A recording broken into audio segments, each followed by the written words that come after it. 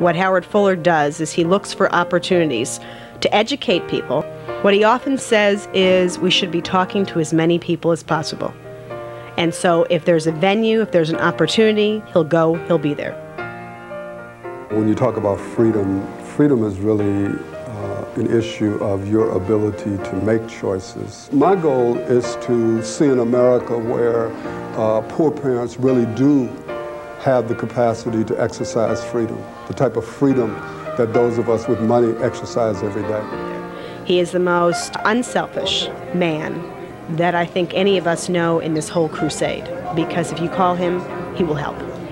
I do think that choice creates the condition for the change to occur. And then you have to have internal mechanisms within the existing system that recognize the importance of making change in order to, to now be involved in a totally different system. So instead of talking about a school system, we'll be talking about a system of schools. If we have choice in the mix of strategies that we have in America, that it will be a very important leverage, you know, for change. We have to be resolute in making our fight uh, one that everyone understands that we intend to continue. As we fight in Milwaukee, we think it's important that other communities begin to fight as well, so that it becomes not just one isolated place, but that this begins to take place uh, in other parts of the country. We all come from the system the way it has always been, and so our assumption is that this is the way that it has to be. What I'm saying is no, this does not have to be the way it is.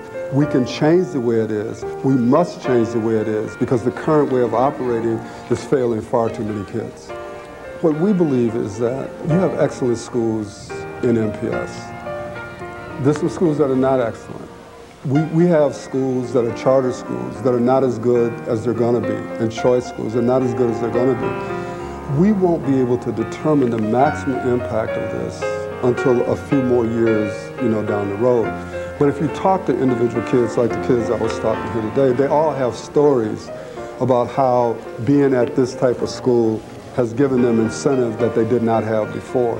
And that's the kind of thing that keeps driving me because I know that we simply cannot afford to lose a single child.